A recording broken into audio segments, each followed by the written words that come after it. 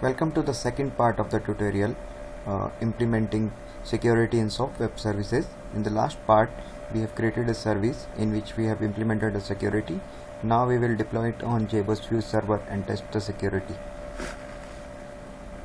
So we will go to our POM file and copy the installation line is the installation command and we'll trigger it to install this bundle you need to install a couple of features in JBoss Fuse.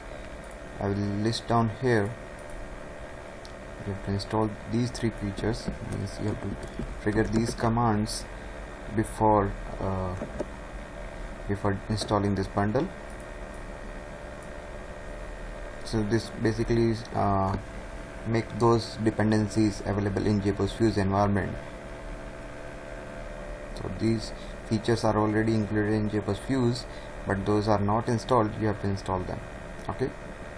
So let's go ahead and test this service on J on SOAP UI I'll go and show you I'll trigger one request and see it give you a security error has was uncounted with, while verifying the message. You can modify this message uh, when once you implement your SOAP fault and all those interceptors so now to let's let's we pass the security headers and I'll just write down admin.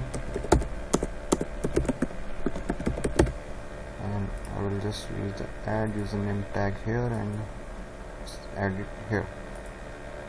So now I'll just trigger one request. Now you can see the new customer got created means the request is running successfully similarly we try for the delete operation. We will try without we will try to delete the new customer which we created 86 and we try to hit request we get error. And same thing we go to go to the authentication tag. You can yourself add these values but uh, software can give you auto generated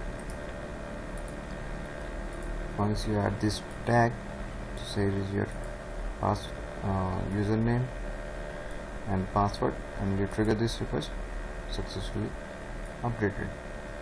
So let's say if you change it then get an error okay?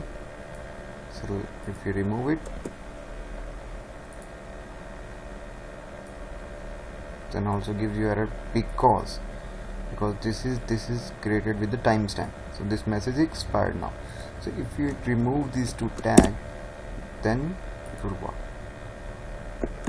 Because there is a created timestamp so you this message will get expired after a few seconds. This is the update in CXF uh, above 3.1 versions previously it was not there. So let's say you add it.